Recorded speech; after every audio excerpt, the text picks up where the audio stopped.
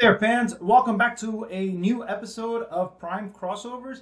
In our last episode, we showed you how we created the Transformers Prime Inferno character for the Dinobots Unleashed sequel.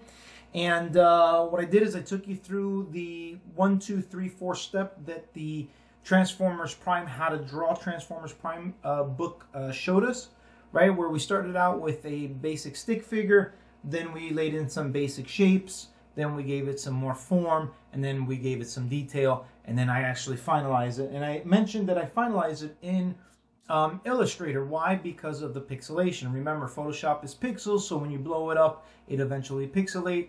Where when you deal with it in Illustrator, deals with mathematical equations, uh, calculations known as vectors, and so you can blow that image up as large as you want. Why is that useful? You might ask, right? Keep in mind, let's just say that you are a um, maybe you're a freelance uh, graphic design artist, and you've got a client, and he comes in and he says, or he or she, uh, they come in and they say, um, you know what, I want you to design a logo for my company. Okay, cool. So you design a logo. You think nothing of it because it's not not really you know specified. Uh, what the logo is going to be used for, but let's just say they say, okay, we want it on, on letters and and uh, letters that we're going to mail out, maybe some business cards, something real simple, real small no problem. But let's just say two years pass down the road, company, that person's company gets bigger and they're having a big promotional event and they come back to you and say, hey, listen, you know that logo that you made for us? Uh, we need to blow it up. And that, that image from before just isn't cutting it, right? So now you got to come back and now you got to design it in Illustrator. And so that way it can be blown up for that giant banner. So this this step by doing it this way you, you don't you know you don't have to worry about that the day of tomorrow you can blow it up for anything that you want um, and when I when I mean blow it up, I mean you can increase the size of it and not having to worry about the image distorting. So in this particular case, we are going to work with a very simple character because again, this is not I, I'm not trying to design a character here on this episode. We already did that in the last one. What I want to do here is I want to show you how we finalize it uh, in Illustrator because one of you folks uh, asked for it, and then I, I, did receive a couple of emails uh, requesting it.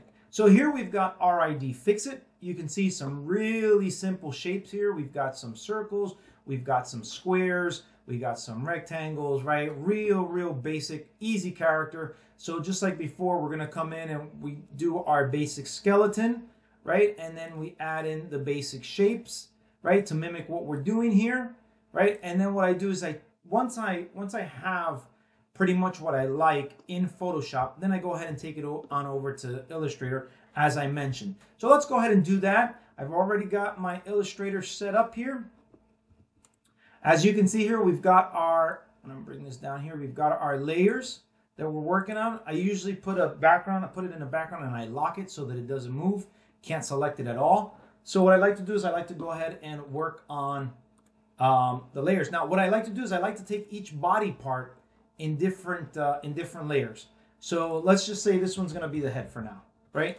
This is going to be key when you organize what you're doing because um, it, it can get messy and can get complicated. So let's just say I'm going to work with this simple shape right here. Let's just lay this in.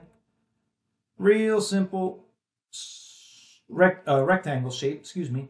And then what I want to do is I want to go ahead and I'm going to change the color just a little bit, just so that we can indicate the, the black color. Right? See that? Now, now if we want to create some depth on this, right? Let's go back and what we'll do here. See how it's got a little bit of depth in there? It looks like it's indentating. All right, now we're going to change that color back to the orange that we had, and we'll keep it dark so it looks like there's a shadow. Now watch this. So we're gonna oh, we're gonna leave that there. We're gonna bring this over here back to where we had it, and you can see right here now we're gonna align. We're gonna zoom in. You can see it's not perfectly aligned, but we'll, we'll align it. And then we'll go to point. Keep in mind that when you're working, uh, no matter what you're working on, whether it's 2D art, whether it's 3D art, you're going to have points, you're going to have lines, you're going to have faces. We got to pull that up. Um, and that's how you work, right? We've got points, we've got lines, and they create a face. Uh, or or a side, right? It's uh, face is another word for a side. So you you as you can see there, let's just say we want to do the face real quick. let's just do the face.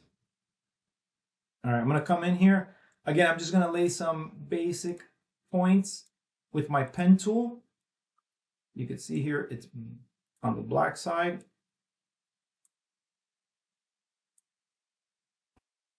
And this character is super easy because it's got a, you know, some jagged lines, right? There's not a whole lot of curvature here. Close that off right there. I'm going to grab this point. I'm going to move it here. When we want to do curvature, I'll show you how to do that. For now, we've got the outline of the face. Let's go ahead and change the color. And there we've got our face. You can see it's starting to take shape. Let's just really quick lay in the head. Actually, I want to do this piece up here first. Um, see here. Start here. Start there. Now, here's the interesting part. You don't have an outline here. You can make one. It's not going to be that big of a deal. And then what we do is, you see how it's it's in the front of the other? Let's just right click on this. We're going to go to transform, excuse me, arrange, and uh, do that again, and send to back. Now you can see that that's in the back and the other two are in the front. We're going to come here, we're going to lighten this up to more of a mid-tone, right? You know what? Let me grab the eyedropper and let's just get the right color. And boom, there we go. There we go. All right, we've got that in there.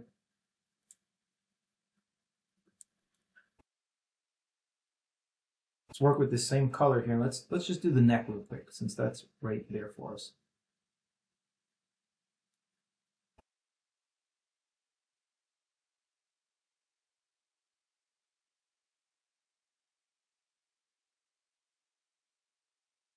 As you can see here, I'm laying out all the character details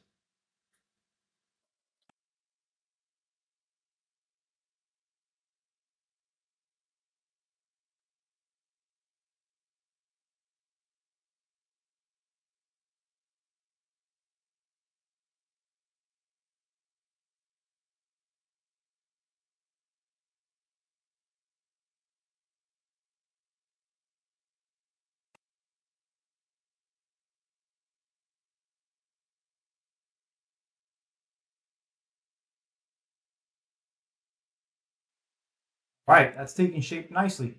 All right, let's go ahead and add some more layers to work on, let's say, the body.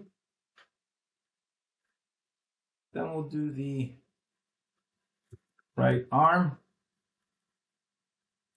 We'll do the left arm. Let's see how that goes. So for the left arm, you can see here on the shoulder, it's real circular, super easy. You just grab your your shape tool, you grab your elliptical tool, and then we can lay in a shape. Let's uh let's grab the right color.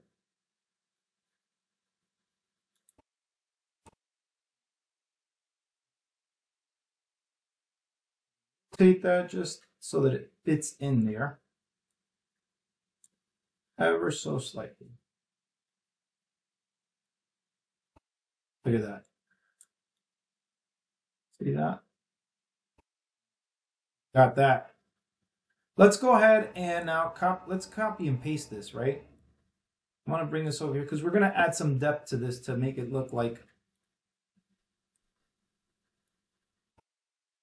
there's a hole here. So what I want to do is I want to bring this in here.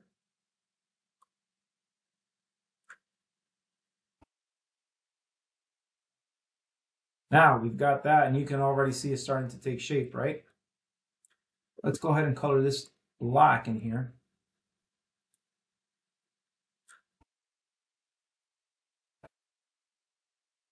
Let's grab this and let's color this one blue.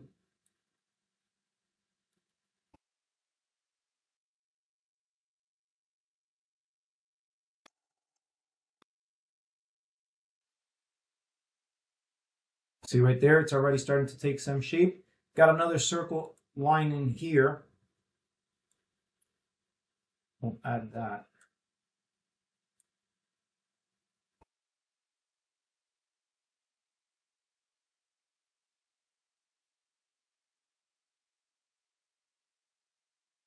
With this one, I'm going to move the point individually. Why?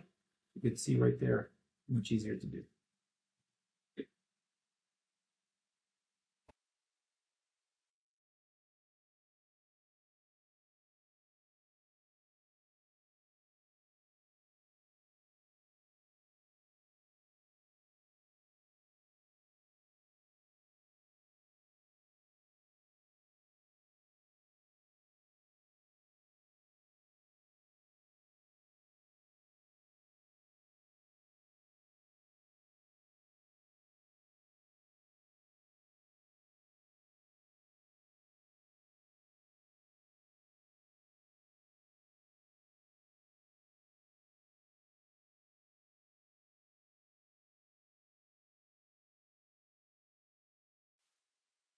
Now, as you can see here, we did our shoulder. Now we're working on our arm. Now our arm doesn't have to be exactly with the curve. Like I, I curved the anchors, right? As you can see here.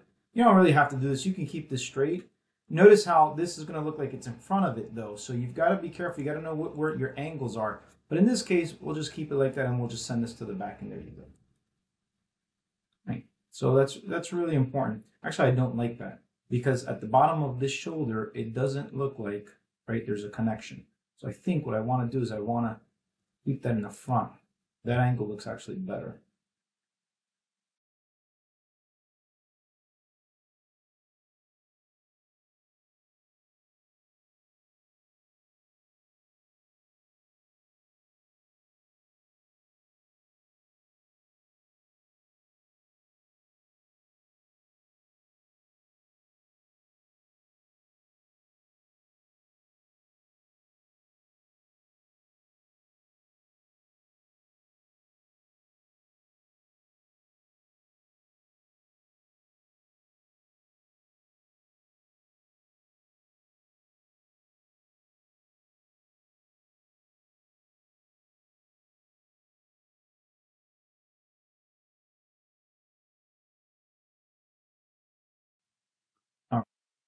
We're looking. Look at that.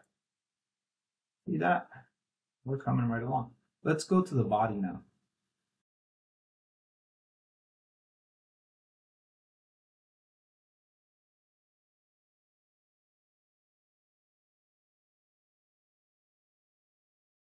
Worry about the highlights. We'll take care of that afterwards. Right now, again, we'll just doing our outline, if you will.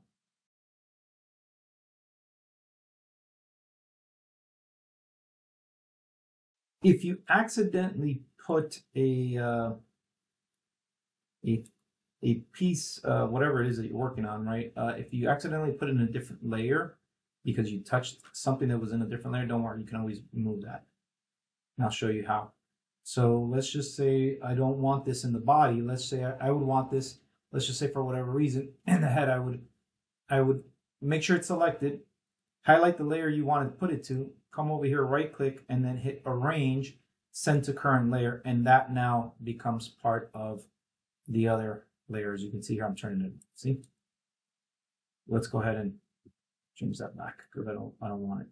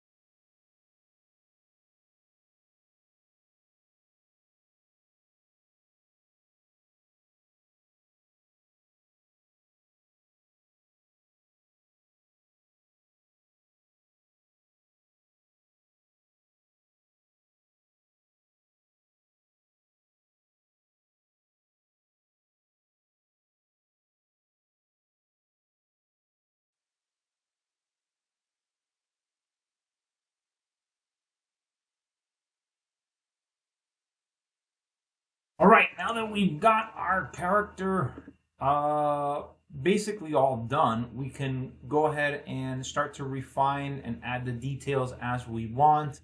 Um, you guys already see how this process works. But what I do want to show you is um, I do want to show you how to do the highlights and the shadows. So let's create two more layers or one. You can do either one. I, I sometimes I mix and match. Let's just do um, shadows highlights. So remember, with shadows, you want to go darker than the color that you have. With highlights, you want to go lighter.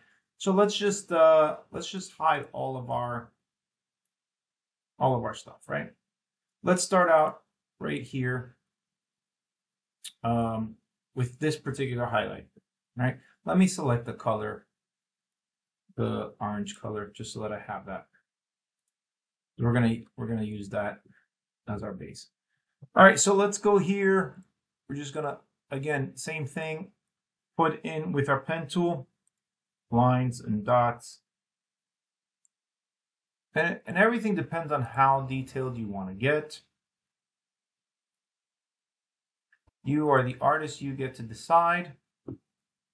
You can go super detail, you cannot. Now, the difference that we're doing here versus the uh, in, in the previous section was that we're doing an outline, right? We've got our fill and we've got our border. In this particular case, when we do shadows and highlights, we don't want a border. So let's turn off our border. And then what we're going to do is we're going to color we're going to go lighter. So we're going to come over here. We don't want it to be white. We don't want it to be dark. Now let's see how that looks with the body. Let's just look at that. Right?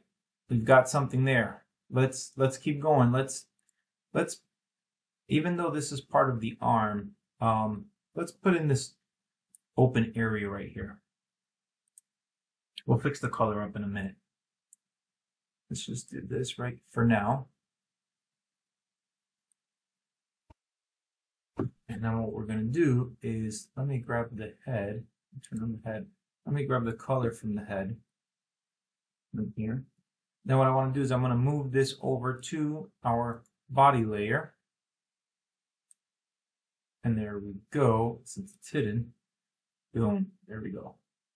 So when we bring in the arm also, and see there, it's already starting to take shape, right? turn that back on. Now let's do let's do some more shadowing. Now for this midsection here, right, we've got some gray and we've got some extra detail going on here. This is pretty simple to take care of. So here's what we're going to do. So again, we're going to grab the gray on this one, go to our shadows,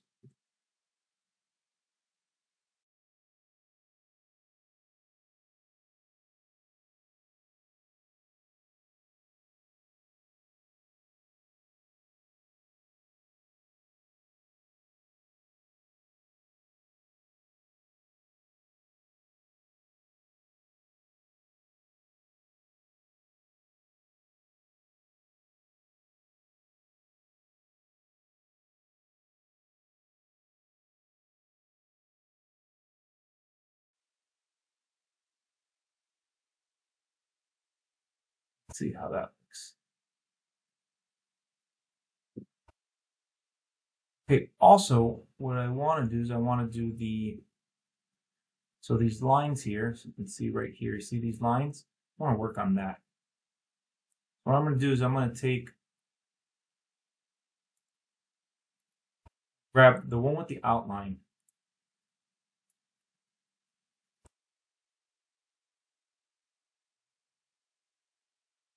turn it off. Now watch this. I'm going to come here, I'm going to go up, create these lines, come back down.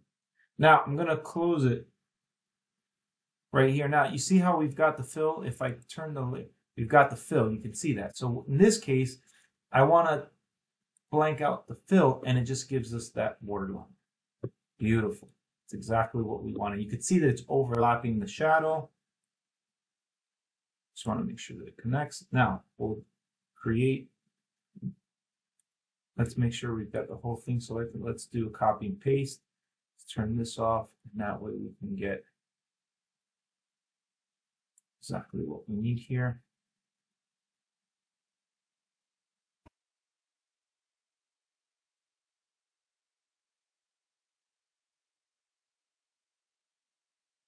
Here,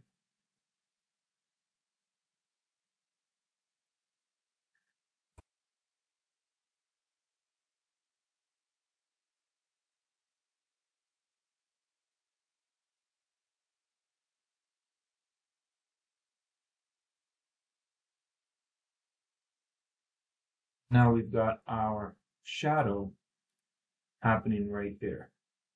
Let's keep working on. Now I want I like to keep all the layers and the shadows in one uh, layer.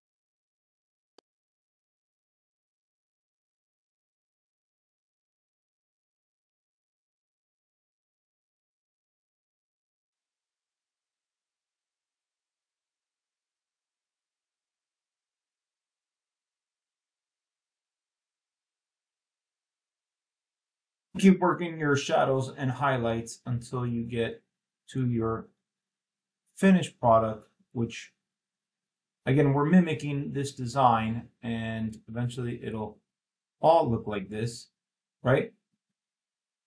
But when you're doing your own character, you give it as much highlights and as much shadows as number one makes sense, and then number two as you see fit. So guys, that's about it. Thank you so much for joining me. I hope this was extremely helpful we will continue to show off more characters, our own characters from our sequel films, and some some that we'll just create out of the random. Guys, thank you so much for joining me. It's been a pleasure. Uh, until next time, till all one, peace out.